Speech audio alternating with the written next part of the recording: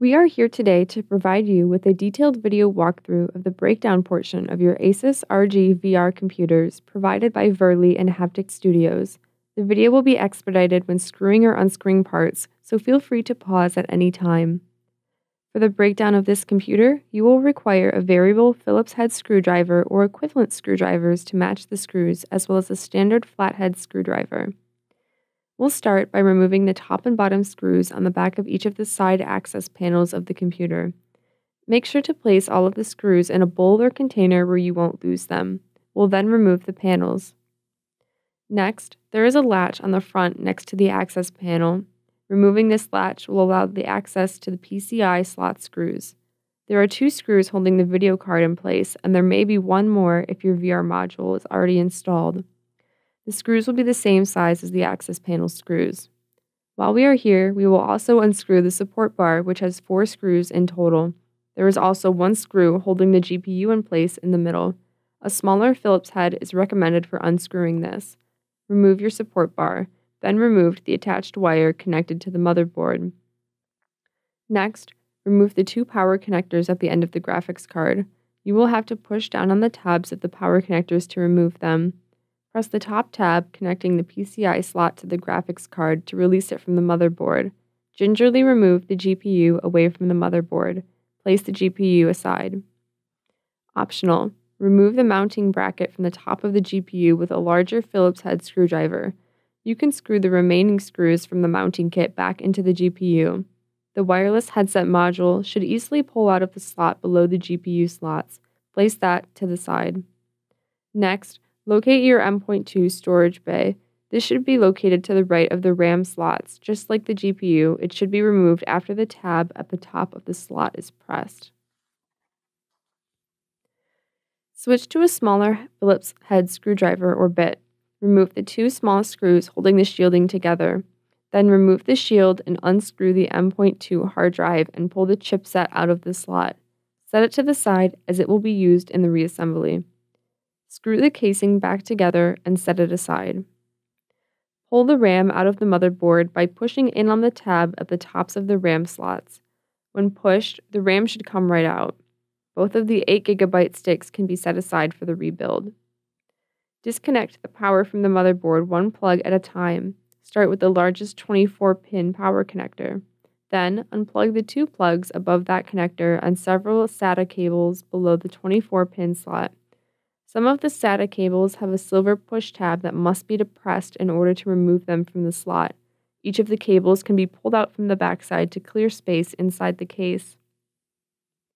There will be several smaller cables connected along the bottom of the motherboard. Each of these must be unplugged as well.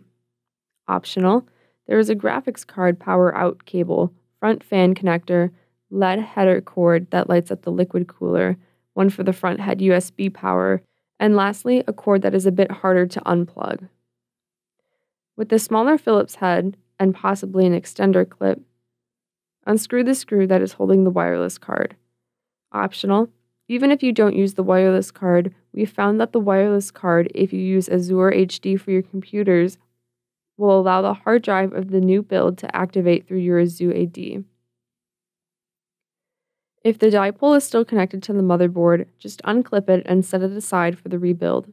Next, you will need to take off the front panel. This may feel like it will break in order to pull the front off cleanly. Locate the three pinches that hold the front facing panel into the front of the chassis. Simply push up on them from underneath each of the clamps to cleanly release the front panel without breaking it. Make sure the wire attached to the front panel feeds out of the small hole in the front of the chassis. With your larger Phillips screwdriver or bit, remove the screws holding in the top face plate on the left and the right. The top should slide forward and lift up to release the top plate. Switch back to the smaller Phillips screwdriver. Unscrew the four front facing screws at the top area of the chassis that holds in the mounts for the hard drive bay. There is a fifth screw that needs to be removed on the right side of the computer, the side panel, revealing the back of the motherboard. It may be hidden behind some cords. Remove it, then turn the computer around to the front of the motherboard. The hard drive bay should be hanging or easy to pull away from the front of the chassis. There should be two screws at the top of the bay. Remove the bay once unscrewed. Now, we will be removing the CPU heatsink. For this, you will need your flathead screwdriver. Remove each of the four screws, one on each corner. These screws will be used in the reassembly process, so make sure these are set aside. Have your thermal paste remover ready on hand. Before you remove your heatsink, remove the CPU power connector from the motherboard. Apply a few dots of your thermal paste remover, then use a tissue to rub the old thermal paste away. Make sure it's dry, then leave the heatsink to dangle in a safe location. Now, switch to a larger Phillips head screwdriver. Unscrew the screws on the top of the chassis that is holding the radiator or heatsink to the top of the computer. Hold the radiator to the top of the chassis while unscrewing so that it does not fall onto your electronics. Then, you can hand screw the screws for the radiator back into it to keep them with the associated radiator. Place the chassis so that the back of the motherboard faces the table. Depress the lever pressing the CPU into the motherboard and move it away from the CPU so that the processor is no longer locked into the motherboard. Then, very carefully pinch the CPU between the thumb and forefinger on opposite corners, being careful not to bend the pins previously plugged in. Once it is out, apply more thermal paste remover to the top of the processor and wipe it clean with a tissue. Use your purifier to neutralize the pH on the processor. Set the processor aside. Replace the CPU latch to its previous position. You can now easily unplug the power connectors for the north bridge of the motherboard and then unhook the back chassis fan as well. Take your Phillips head screwdriver and remove the fan located on the back of the computer. This is to make the motherboard removal easier. The fan will not be used in the rebuild. Now you are ready to begin removing the motherboard screws. There are eight of them. Remove the screws. Grab your flathead screwdriver and use it as a lever to push out the back plate of the motherboard from the back of the chassis. You have to make sure that you align the three teeth of the back plate to their corresponding holes on the chassis in order to unwedge the motherboard back plate. Once that is done, the motherboard should lift from the computer chassis easily. If it is not, attempt to find the stuck location to wiggle the board free from the case. Do not bend or force it free, as this will damage the motherboard. If it is getting caught, more than likely the culprit is a screw that is still screwed in, or the back plate is still being wedged in. Once the motherboard is free, remove the back plate of the heatsink as it will be used in the rebuild and it is the last piece you will need for the rebuild. Optional, replace the motherboard back into the case and screw all the wires back in. This is to keep it safe during storage. Then, refeed all of the wires from the power supply unit back through the front of the computer case with the motherboard side up. This will allow you to replace the back panel without any problems. Now, you'll want to remove the 3.5 inch hard drive bay. To do this, you should first remove the SATA cable, not the power cable, from both the motherboard and the hard drive and set that aside. Then, there will be three screws that you will need to remove with your larger Phillips screwdriver. There are two on the bottom and one on the top to remove. The cables from the PSU may get in your way as you remove the screws.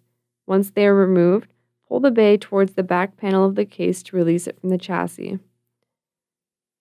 Once the hard drive bay is removed, you'll remove the hard drive from the bay by unscrewing the four screws, two on each side of the bay. Then, pull the hard drive from the bay and set it aside. Before replacing the bay back into the chassis, locate the inner teeth that guide the bay back into place. It may be difficult to place back into the chassis due to the power cords. Once it is back in, replace the screws to hold the bay in place. Tuck the wires back into place. Replace the top panel by sliding it into place.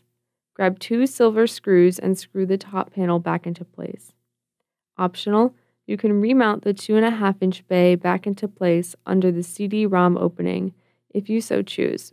It is not shown here, but would be required before any other steps here. Feed the cord from the front panel back through the hole in the front of the chassis. Push the front panel back into place, starting from the top teeth to the bottom. Grab the back panel and slide the teeth into the corresponding locations, and then slide the panel forward, locking it into place. Put the two screws for the side panels back into place.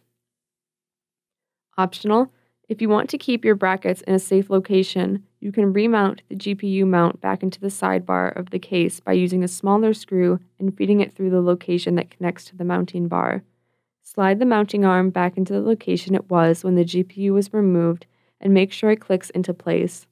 Use four more chassis screws to fix the mounting arm back into place. Make sure your wires are tucked in. Slide the front bay back into the drive bay slot. Place the frontal magnetic faceplate back in. Screw back in the two PCIe screws that are located near the back GPU area so that you don't lose them. Then, slide on the front faceplate similar to the back, screw the plate into place. That finishes the reassembly, and all the remaining screws can be placed in a bag and stored in the same location as the computer.